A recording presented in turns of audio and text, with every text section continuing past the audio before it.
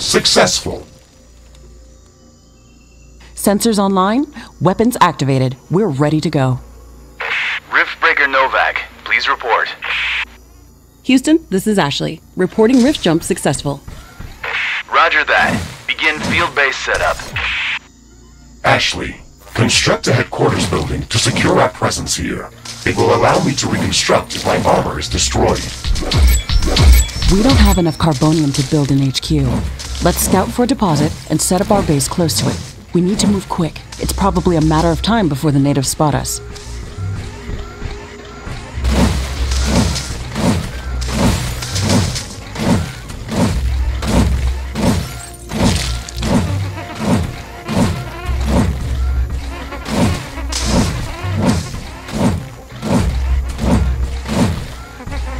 We've located a carbonium deposit. Okay, move on to the deposit and start drilling.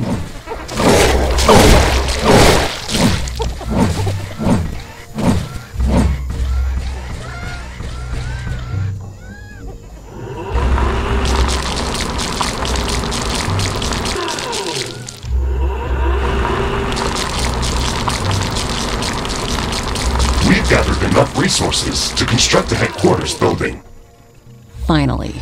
Let's place it close to a carbonium deposit. This will help us speed up resource production.